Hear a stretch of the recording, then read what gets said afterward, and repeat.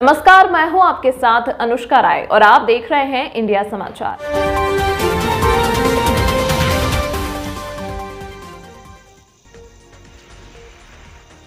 सनातन धर्म के गौरव देश के सर्वोच्च राष्ट्रीय संत कृष्णगिरी के पीठाधीश्वर संत सिरोमणि डॉक्टर वसंत विजय जी महाराज के अध्यागमन पर, यहाँ के प्रमुख संतों का ऐसे संत के आगमन पर क्या विचार है और किस तरह से उनके यहाँ स्वागत करेंगे? जाने अयोध्या के वरिष्ठ संतों के मुखारबिंदु से। अयोध्या से वरिष्ठ रिपोर्टर नीरज श्रीवास्तव, कैमरामैन कार्तिक श्रीवास्तव के साथ। हनुमान जी का तपोस्थली है और मैं दिखाऊँगा कि वो तपोस्थली है जहाँ पे हनुमान जी यहाँ पे साक्षात हनुमान तपस्या करते हैं। वो हनुमानगढ़ी का जो अयोध्या में हनुमानगढ़ी हनुमान जी वो उनका राज दरबार है जहाँ पे लोगों का कल्याण करते हैं, लोगों की दुख दर्द सुनते हैं, उनके दुख दर्द को दूर करते हैं। वहाँ से वो जो है लोगों के जो है राजा हैं, वहाँ पर वो न्याय करते हैं और यहाँ पर तपस्या करते रहे और जी, यहाँ पर तपस्या कर तपस्वी रही इनकी और यहीं से जो है हनुमान जी भी यहाँ पर विराजमान रहते हैं। और आज मैं चूँकि अयोध्या में कृष्णगिरी के परम पूज्य हमारे पीठाधीश्वर डॉक्टर बसंत विजय जी महाराज जी का अयोध्या में आगमन हो रहा है। ये बड़े सौभाग्य का विषय है और तमाम संतों के अंदर भी एक बड़ी मतलब उनके अंदर भी एक उत्साह है, एक उमंग है कि महाराज जी से मिलने की एक जो जिज्ञासा है वो पूरी होती जा रही है। तमाम संतों का भी एक जिज्ञासा है कि वो हमारे परम पूज्य यशस्वी पीठाधीश्वर ज- कृष्णागिरी के महाराज जी बसंत विजय बसंत विजय जी महाराज जी अयोध्या कब आएँगे? और लोगों के अंदर एक जो जिज्ञासा था वो अब पूर्ण होने वाला है।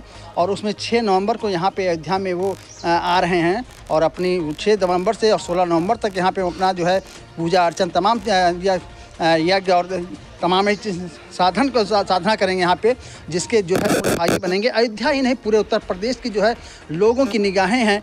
और हम संतों से आज इस समय बात कर रहा हूँ कि संतों के अंदर कि क्या उनके अंदर जिज्ञासा है चूँकि पीठाधीश्वर ऐसे राष्ट्रीय संत जो है अयोध्या में आ रहे हैं, ये बहुत बड़े सौभाग्य विषय है कि चूँकि भारत के संतों की नगरी है और अयोध्या में बाहर बाहर के दूर दूर से भी संत अगर आए हैं तो ये अयोध्या का परम सौभाग्य होगा।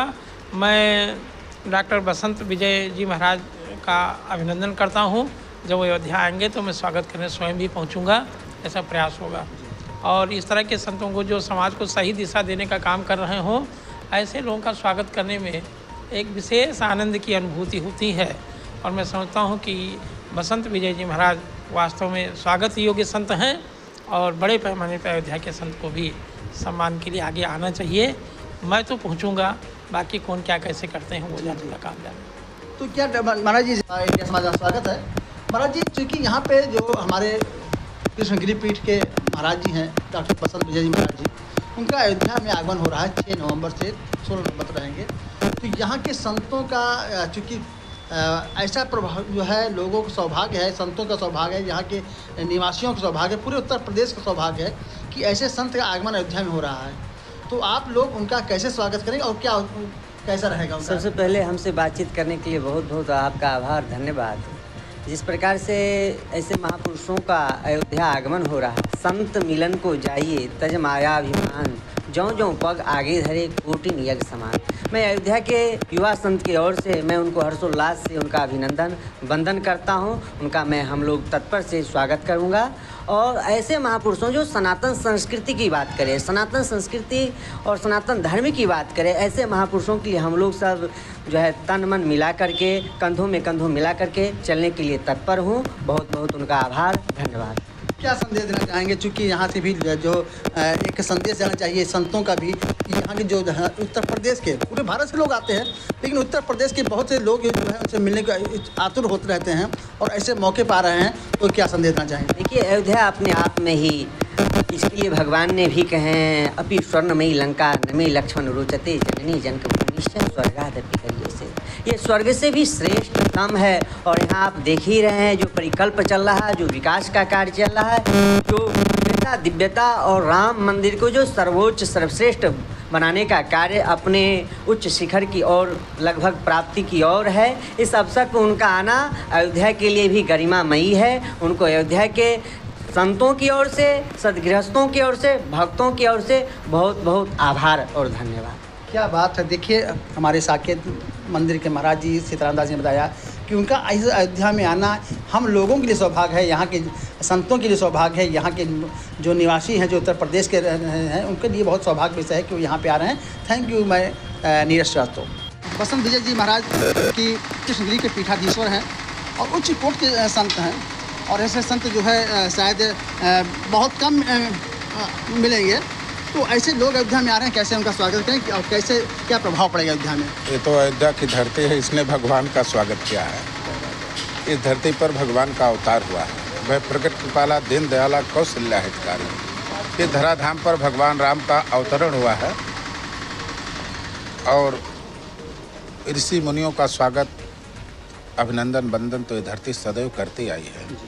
और जैसा कि आपने बताया, बसंत विजय जी महाराज के विषय में, इतनी योग्यता रखते हैं, इतनी उच्चता के संत हैं, समाज का मार्गदर्शन कर रहे हैं तो अयोध्या की पावन धरती पर मैं दिलीप दास त्यागी ऐसे महापुरुष का आत्मीय स्वागत करता हूँ अभिनंदन करता हूँ और ये विश्व की सबसे पहली धरती है। जी संसार की सबसे पहली धरत पड़ेता महाराजा मनु के द्वारा स्थापित की गई है। अयोध्या नाम नगरी तत्रासीन लोक विस्तृता मनोना मानवेंद्रेण यह पूरी निर्मता स्वयं। इस धरती का निर्माण स्वयं महाराजा मनु ने किया जिनसे मानव सृष्टि की उत्पत्ति हुई और नर जाति की उत्पत्ति है और मानव संस्कार, मानव सभ्यता प्रारंभ हुई। इस धरती ने स्वयं परमपिता परमात्मा भगवान श्री राम का इस धरती पर स्वागत किया। भगवान का यहाँ अवतार हुआ। बड़े बड़े ऋषि, मुनि, अमलात्मा विमलात्मा महात्माएँ जैसे सभी संतों का, परमात्मा का, महात्मा का इस धरती ने स्वागत किया है, वैसे बसंत विजय जी महाराज का भी। अयोध्या की धरती, मैं दिलीप दास, स्वागत करूँगा। अभिनंदन करूँगा और उनके आयोजन में जो भी भूमिका होगी जो भी सहयोग होगा उसको मैं पूर्णतया निभाऊँगा और उनका बहुत बहुत अभिनंदन। महाराज जो यहाँ के वास्तव में अच्छे संत हैं संत तो बहुत अयोध्या में हैं लेकिन त्यागी जैसे संत जो है कम मिलते हैं जिनका कोई स्वार्थ नहीं होता है वो भी बिल्कुल निस्वार्थ भाव से समाज की सेवा करते हैं। अयोध्या में जो आज काफ़ी अर्सों से रह रहे हैं और लगातार कुछ ना कुछ आयोजन किया करते हैं। तो ऐसे दिलीप त्यागी महाराज को मैं प्रणाम करता हूँ। संत विजय महाराज जी का यहाँ आगमन अयोध्या में हो रहा है। अभी वो मैहर में थे वहाँ पे उन्होंने नवरात्र में पूरा जो है दस दिन तक वहाँ कार्यक्रम कराया है। और अब वहाँ से सीधे अब अयोध्या में उनका आगमन हो रहा है।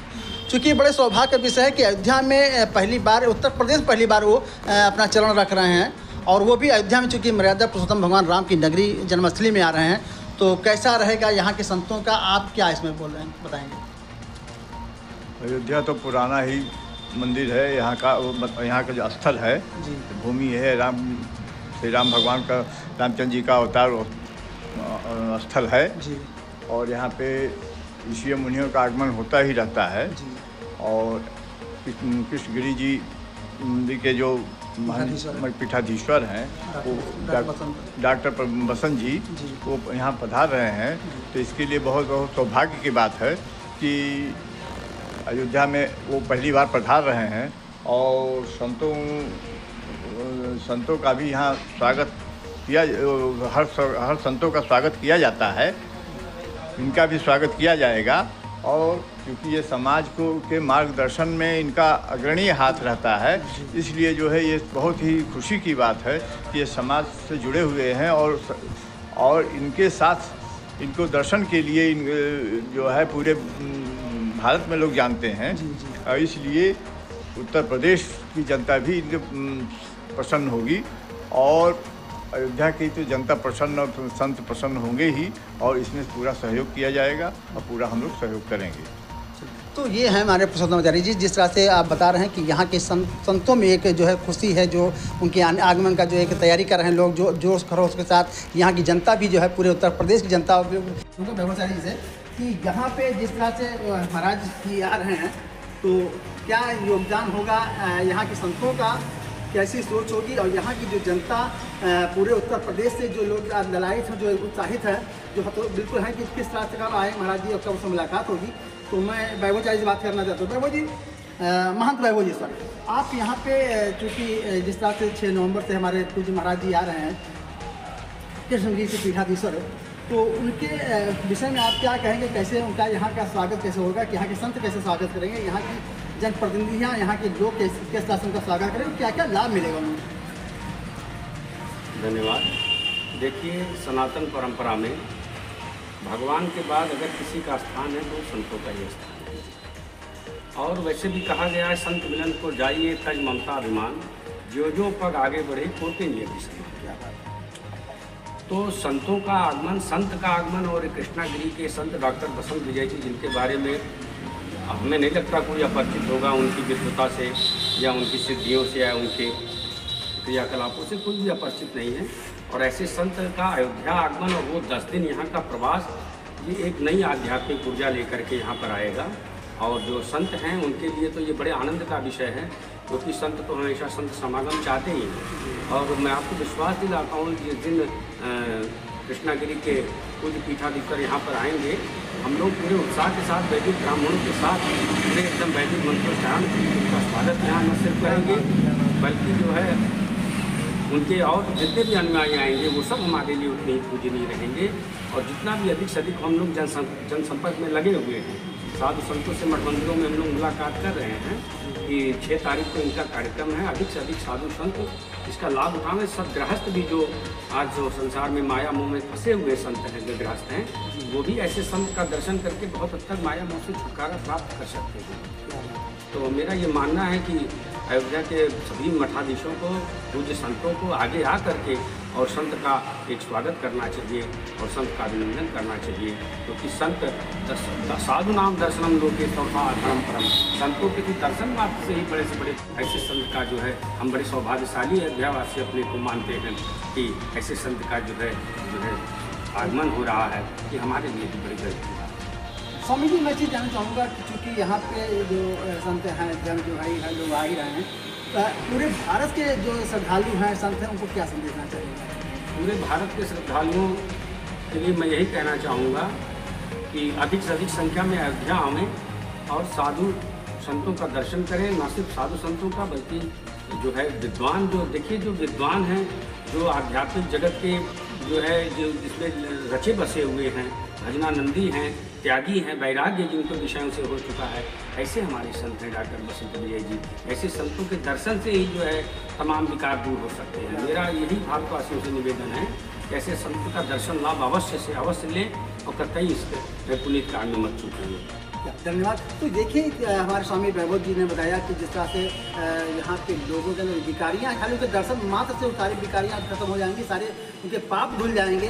तो ये बहुत बड़ा विषय बताया है स्वामी जी ने हमारे कि ऐसे संत का आगमन अगर हो रहा तो साधु संत तो जो है तो दर्शन को उसका लाभ पाएँगे ही। लेकिन यहाँ के पूरे उत्तर प्रदेश का और पूरे भारत लोग आ रहे हैं नेपाल का तमाम जगह होंगे कार्यक्रम पहुँचते हैं, लेकिन मैं खासतौर पर उत्तर प्रदेश की जनता से बात करना कहना चाहूँगा, कि ऐसे संत का दर्शन पाने के लिए लोग ललायित रहते हैं। जैसा कि भी हमारे स्वामी प्रभुदास ने बताया कि ऐसे संत का दर्शन करने मात्र से तमाम बिकारियाँ खुल जाएँगी, तमाम जो है उनके पाप भूल जाएँगे, तमाम जो उनकी जो भी खामियाँ होंगी सारे मिट जाएँगे। एक जिस तरह से लोग, धन वैभव में लोलुपता में जो लगे हुए हैं, उससे छुटकारा पाएँगे दर्शन मात्र से ही सारे जो है उनको शिक्षा प्राप्त होगी। मैं धन्यवाद, मैं नीरज